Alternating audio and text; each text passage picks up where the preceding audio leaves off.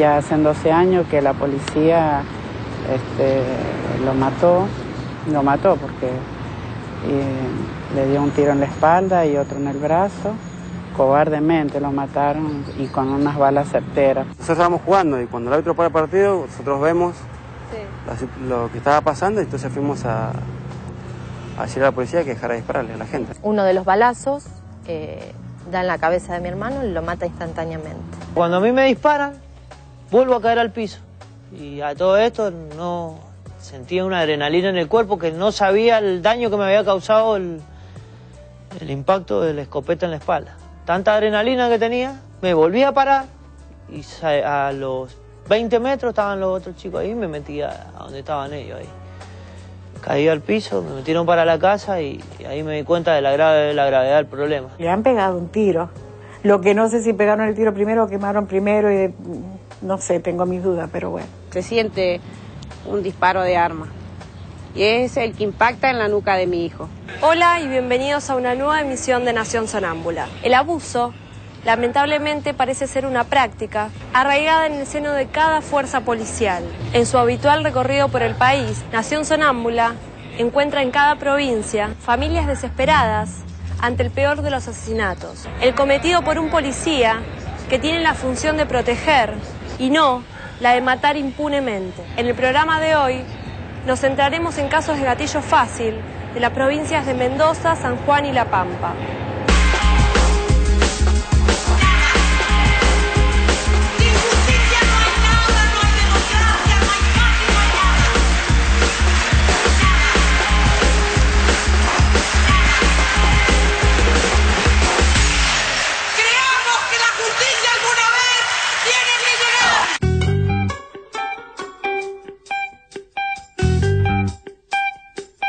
Problemática del gatillo fácil es una problemática que está muy eh, fuertemente ligada a las estructuras de poder, a la sensación de impunidad este, y a lo ideológico. Me refiero básicamente a, cuál es la conceptualidad que se tiene de la pobreza, cuál es la conceptualidad que se tiene de, la marginalidad.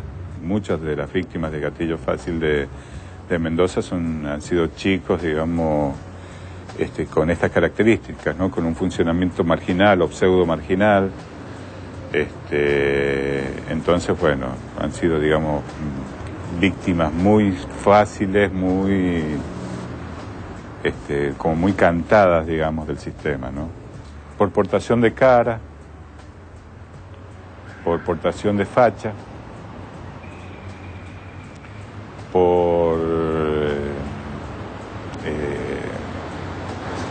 por ausencia de educación, eh, lo cual implica desconocimiento de los derechos. Si un juez de primera instancia, frente a una situación donde se cae de maduro, que es una situación de abuso policial o de, o en el peor de los casos, de una situación de gatillo fácil, se da este, un sobreseguimiento, no se investiga, se mandan a archivar cosas y son cosas que están clarísimas en este sentido, ¿no?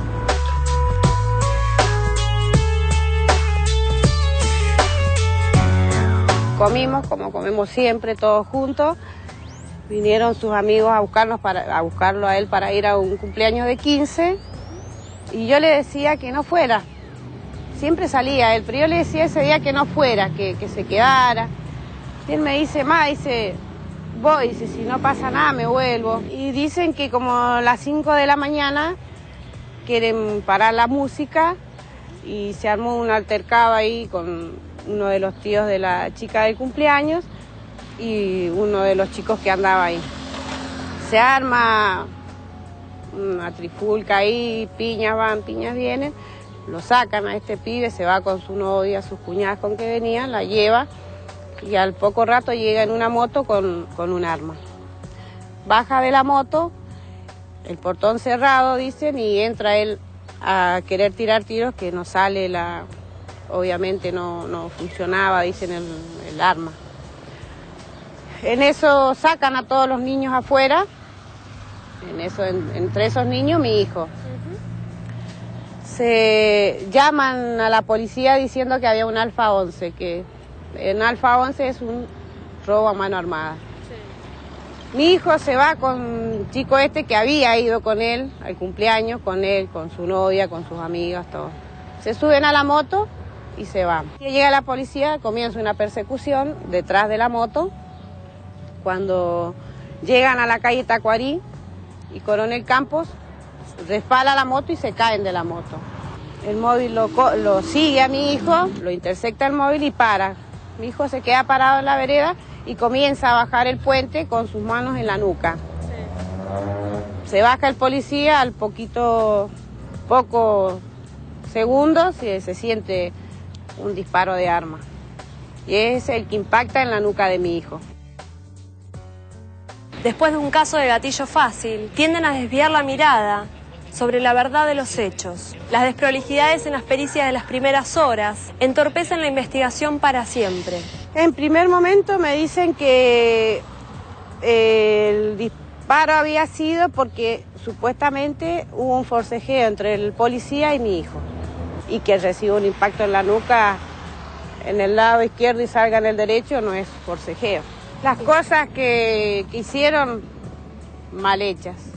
Hay más de 70 testigos que dicen que los que declaran que ven al otro chico con el arma, a mi hijo, todos los testigos que declaran, ninguno lo ve con arma a mi hijo. Y él cuando dictamina, la, da la resolución, eh, al que está por encubrimiento agrado lo deja libre y culpa libre, al que iba en la moto, que portaba el arma, por amenazas graves, resistencia a la autoridad, lo dejan libre.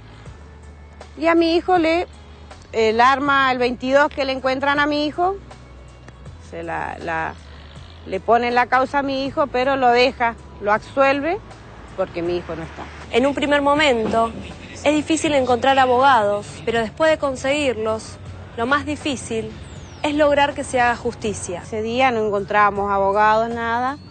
Aparecieron unos como por arte de magia. Hasta que un día vamos y me dice el abogado que teníamos antes que teníamos que buscar otros abogados. ¿Por qué? Porque se cansó. ¿En qué sentido? Él presentaba, eh, escritos que presentaba se los denegaban. Se los denegaban. Lo último que presenta es un recurso de amparo, se lo deniegan. Y un fiscal le dice que se deje de hinchar las pelotas, que el pendejo se murió. Fueron las palabras de un fiscal al que fusila a mi hijo lo procesan y está en libertad hasta el día de juicio.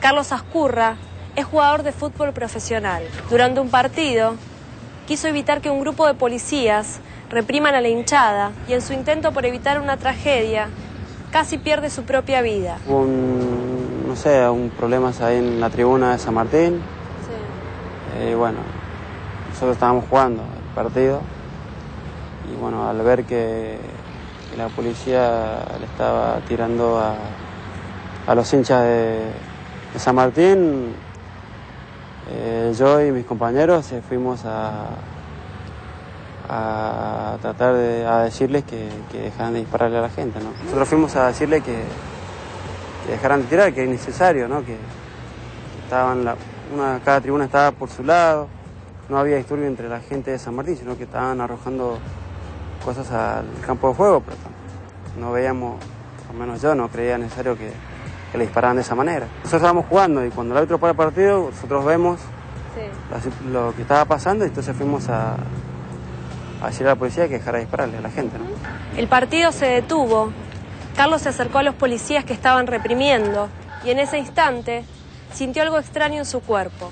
No, yo no sé si no alcanzo a llegar o estoy llegando y, sentí un golpe que me tiró al piso y de ahí no me pude recuperar más. Era el impacto de un proyectil salido del arma de un policía. Sentí un golpe que me tiró al piso, sí. Y realidad quise más o menos incorporarme de nuevo, pero no, no, no, no podía. Sentía un dolor por dentro muy grande, algo que me quemaba adentro y no podía respirar, así que no, no, no, no me pude, no me pude recuperar.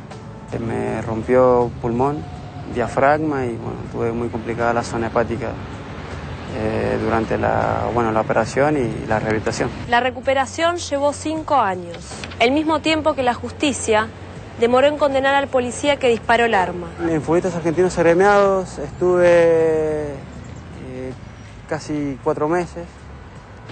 Este, ahí muy, muy, o sea, ahí en el gremio, digamos, haciéndola. Una vez que me dieron el alta de ellos para seguir la rehabilitación acá en Mendoza, la seguí acá en Mendoza.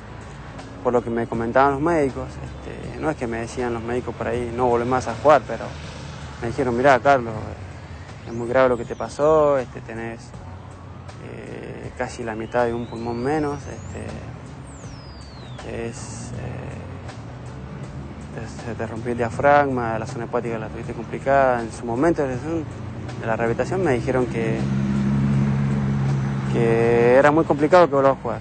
Sí que si me rehabilitaba bien, que iba a poder hacer la vida normal de cualquier persona. Pero bueno, que, que me iba a costar bastante. El oficial que dejó a Carlos en terapia intensiva recibió una condena leve.